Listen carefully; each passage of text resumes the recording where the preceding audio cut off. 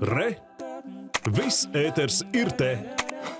No šī gada sākuma visos mājokļos ir jābūt uzstādītiem dūmu detektoriem, bet kā neapjukt no plašā piedāvājuma un kuru labāk izvēlēties? Tādēļ veiksim nelielu eksperimentu, dosimies uz dažādiem veikaliem, lai noskaidrotu, kuru detektoru mums ieteiks iegādāties. Vispirms dosimies uz depo. Jā. Bateriju šorīt mēģinājām. Oh. 3,89. Kur ir jau iekšā, Jā, jā? jā.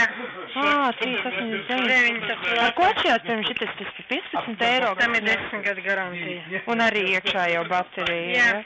Un cik bieži ir šis jāmaina? Pēc divi gadi. Ā, pēc divi gadi, jā. Ā, paskats, ko nevarēja saprast, un tik daudz un dažāds. un- Lētais variants. Mhm. 4,59, bet šeit ir atsevišķi jāpēr baterija. Ā, bet ar ko, ar ko viņi atšķirās? Piegādātājs un viss. Ā, bet šim tā kā astoņi gadi rādās laikam, bet jā? vai jums, jums baterija tāpat tas ir pašam korpusiņam. Ā, Baterija jau tur nav iekšā. Un ko tie visi tie cipari nozīmē, kādi viņi Nu, tur?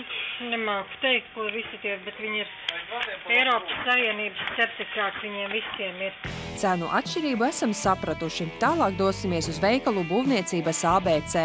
Viņiem tikai tas dizains vai viņiem kaut kas iekšā arī tur atšķirās? Nu, es vienkāršos tekstu, ka Absolūti info arī. visi viņi atbilst Eiropas standartam, Jā. eh, kuram ir nolikts, eh, kam jābūt. Aha, Nu, tad tā ir ļoti vienkārši. Skaidrs. liela katastrofāla atšķirība nedrīkst būt. Visiem viņiem jāatbilst normām. Viņiem Jā. jābūt skaļumam, sadūmotībai Jā. Un viss. Bet nav tā, ka par tiem 26 eiro viņš ir skaļāks un tur kaut kāds. Eh, Es neticu, ka viņi var skaļāk uztaisīt, uztaisīs pa 5 decibeli skaļāk. Ja? Jā, Teiksim, šis te piegādātais mums ir Latvijas firma FM servis, ja? jā, Tad šitam ir uh, trīs apaļas baterijas, tādas tā kā tabletes, ja? jā. Nu, šis, šis it kā viņi ir lielās, kad ar tām trim baterijām no uzstādīšanas brīdi viņš tā kā 5 gadi vajadzētu. Ā, ka var nemainīt, jā? nemainīt Ā. baterijas. Šitin ir atkal topa prece cena, ja? Jā, 460. Jā. Krona ir iekšā standarta krona, ko var nopirkt jebkurā Maksimas veikalā, ja ka beidzās, ja? bet viņam iekšā jau ir vai Jā, nav? jā, jā, jā. Ā, un cik ilgi viņš iet? Nu, es neesmu viņu testējis personiski, bet tādu pēc cilvēku eh, tekstiem, cik es noprotu, kādu gadu. Ā, apmēram. aha. Nu, atkal, cik tā krona ir dārga. Un ko vispār šitie visi nozīmē? Kas, kas? Uh, nu, uh, 85 decibeli. Ā. teiksim, uh, indikators, kad viņš strādā un pogai ka piespiežot, uh, lai varētu notestēt, teiksim, lai Ā. pats, uh, nu, Lai saprot, kas Uh, vai viņš strādā vai nē. Jā. Ja, teiksim, ka rodās aizdomas, kad uh, vai viņš strādā, tad, uh, nu, Jā. vai pīks, nu, tad, un tā, tā ir. Visi viņiem, un visi viņiem jāatbilst. Eiropas Savienības regulē. uh, Kurā vietā viņi kā vispār pielikt? Es, es nezinu, kā Viņi viņi. liek, kur savienojās visas telpas. kurā Kori, vietā? koridorā, kur sajiet visas telpas. Nu, Tā liek. Es atkal, es atkal uztveru, ka jāliek guļamistabā. Nu, te ir telpā, Jā. kurā guļ, ja? Jo cilvē, cilvēks pa dienu vēl pamanīs, ka smird, ka dūmi, Jā. nu, pa dienu pamanīt. A, kad cilvēks guļ, Viss pareizāk. Tur tur visas istabas sajiet kopā. nu, arī, ja, teiksim, te... Tā kā koridors kaut Nu, kāds. ja? koridorīti priekšnamā, ja, bet, uh, Bet pietiek ar vienu vai divus vai ir viņš tikai tur- dzīvoklis, uh, tad pietiek ar vienu. Šeit esam ieguvuši gana plašu informāciju gan par pašiem detektoriem, gan to uzstādīšanu. Dosimies uz Kāsenukai. Tikai tāds ir. Palicis vairāk nav nekādi.